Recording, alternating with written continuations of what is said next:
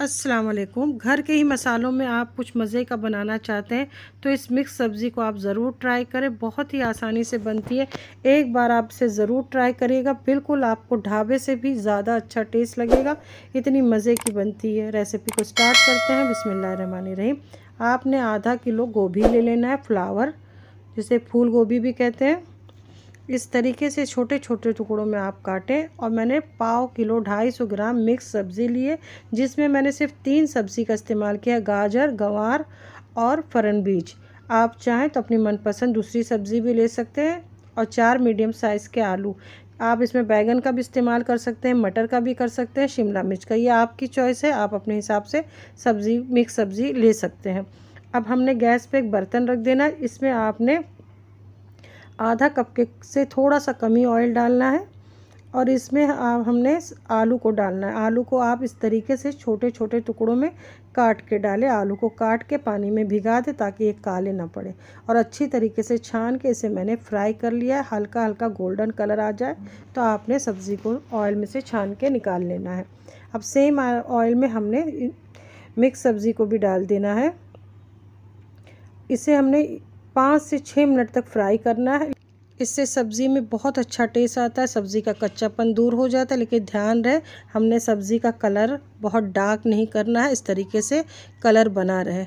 अब एक चॉपर हमने ले लिया, हैंडी चॉपर। इसमें मैंने दो प्याज ले ली है, मीडियम साइज़ की। बहुत ही मज़े की सब्ज़ी बनती है, ज़रूर ट्राई करिएगा।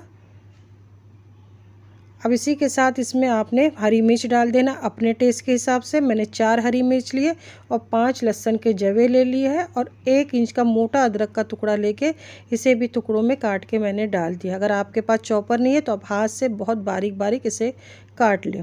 अब इस तरीके से बारीक चॉप कर लेंगे। अब सेम बर्तन में जिसमें हमने सब्ज़ी को फ्राई किया था, उसमें थोड़ा ऑयल है। इसमें थोड़ा सा ऑयल हम और डाल देंगे, आधा कप के करीब। अब ऑयल जब गर्म हो गया तो उसमें आधा चाय का चम्मच आपने ज़ीरा डाल देना है।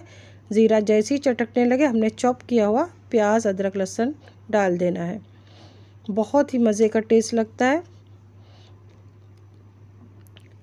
रोज़मर्रा की सब्ज़ी तो घर में बनती, क्या आपके घर में भी इसी तरीके से आप बनाते हैं? कमेंट में ज़रूर बताइएगा।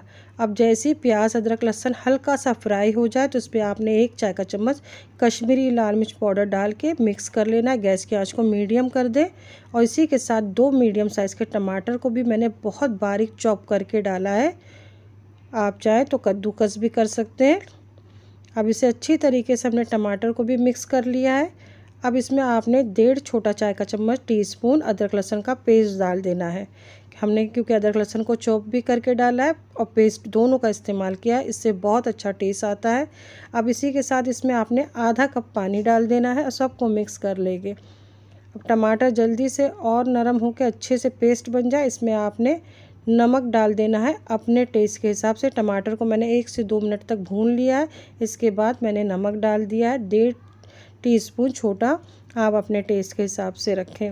आप जिस तरीके से नमक और मिर्च खाना पसंद करते हैं।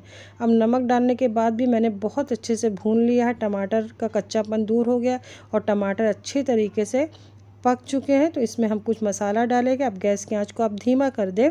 अब इसमें हमने धनिया पाउडर डालना है। मैंने डेढ़ खाने वाला चम्मच, डेढ़ टेबल स्पून धनिया पाउडर इस्तेमाल किया है। इस रेसिपी में धनिया पाउडर का इस्तेमाल ज़्यादा होगा और हल्दी का इस्तेमाल कम होगा, क्योंकि हमने सब्ज़ी का कलर लाल रखना है, पीला नहीं रखना है।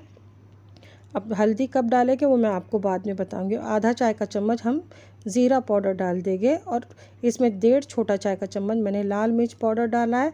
आप अपने टेस्ट के हिसाब से रखें, आपकी मिर्च जो हिसाब से तेज़ है।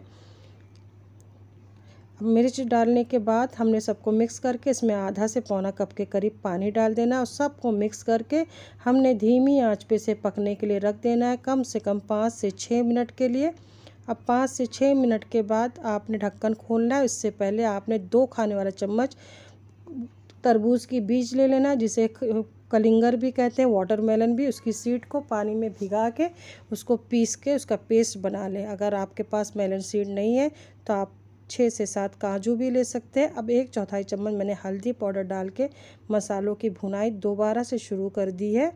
हमने मसालों को मीडियम फ्लेम पे ही भूनना है, इससे बहुत अच्छा टेस्ट आएगा। अब आप देख रहे हो बहुत अच्छे से मसाला भून गया, ऑयल नज़र आ गया है तो इसमें हम सब्ज़ी डाल देंगे। अगर आपके पास मेलन सीड भी नहीं है, काजू भी नहीं है तो भी आप इस रेसिपी को तैयार कर सकते हैं। अब सबको मिक्स करने के बाद इसमें हमने तरबूज का पेस्ट जो हमने तैयार किया था, इसे डाल देंगे। तरबूज के बीज को थोड़े से गर्म के पानी में भिगा के रखें, उसके बाद उसका पेस्ट बना ले। अगर तरबूज के बीज जैसे आपके पास नहीं है तो मैंने जैसे कहा था काजू डाल लें। अगर काजू भी नहीं है तो आप इसमें दो से तीन खाने वाला चम्मच घर की मलाई को फेंट के डाल दें। अब जिस जार में मैंने तरबूज को बीज को पीसा था मेलन सीड को, उसमें दो खाने वाला चम्मच पानी डाल के साफ़ करके मैंने डाल दिया और गैस की आँच को धीमा करके से मैंने छः मिनट पाँच से छः मिनट तक पका लिया है। अब सब्ज़ी को हमने बीच बीच में एक से दो बार चलाया भी है ताकि बैलेंस सीड नीचे से जले ना। अब आपको भुनाई करना है इसको मीडियम फ्लेम पे, जब तक ऑयल आपको नज़र नहीं आता है। अब आप देख रहे होगे नीचे से ऑयल नज़र आ रहा है। इसका मतलब सब्ज़ी बहुत अच्छे से भून चुकी है। अब आपने इसमें गर्म पानी डालना है कम से कम दो से ढाई कप के करीब। गर्म पानी ही डालिएगा, क्योंकि हमने आलू की सब, आलू और सब्जियों को पहले फ्राई किया है, फिर धीमी आँच पे पकाया है और छोटे टुकड़े रखे हैं तो ये बहुत जल्दी तैयार हो जाएगी। अब सब्ज़ी पकने में बिल्कुल टाइम नहीं लगेगा, पाँच से छः मिनट में हमारी सब्ज़ी तैयार हो जाएगी। अब इसमें आपने आधा चाय का चम्मच गर्म मसाला पाउडर डाल देना है और थोड़ी सी कसूरी मेथी को आधा टी के ही न डालें, उससे ज़्यादा नहीं, इसे हल्का सा मसल के डाल दें, चाहे ऐसे ही डाल दें। अब इसे डाल के आपने ढक्कन ढाक के सिर्फ़ इसे छः से सात मिनट तक पकाना है, जब तक आपके आलू गल नहीं जाते और सब्ज़ियाँ पक नहीं जाती। क्योंकि बहुत जल्दी पक जाएगी, आलू की क्वालिटी छोटे छोटे टुकड़े हैं तो इसे पकने में टाइम नहीं लगा था मुझे। ये देखें, आलू भी गल चुका है और आप देख रहे होंगे गाजर और सब्जियों का कलर वैसे ही बना है, लेकिन सब्ज़ी गल चुकी, गाजर भी गल चुका है, बस हमें इतना ही पकाना है। अब हमारी सब्ज़ी बनके तैयार है। अब इस घर ऊपर से थोड़ा सा कटा हुआ हरा धनिया डाल दें। ऐसे गरम गरम आप किसके साथ खाना पसंद करेंगे? पूरी के साथ, पराठे के साथ या सिंपल सी चपाती के साथ? या ज़ीरा राइस के साथ कमेंट में ज़रूर बताइएगा। बहुत ही मज़े की सब्ज़ी बनती है। ज़रूर ट्राई करें, फैमिली फ्रेंड में शेयर करना ना भूलें। और अभी तक कुछ लोगों ने मेरे चैनल को नहीं सब्सक्राइब किया तो उनसे मेरी रिक्वेस्ट है, आसान सी रेसिपी जानने के लिए चैनल को सब्सक्राइब करें, चैनल को सपोर्ट करें और लाइक का बटन नहीं दबाया तो ज़रूर दबा दें। फिर मिलते हैं नई रेसिपी के साथ। इन अपना ख्याल रखिएगा, दुआओं में याद रखिए। अल्लाह हाफिज़।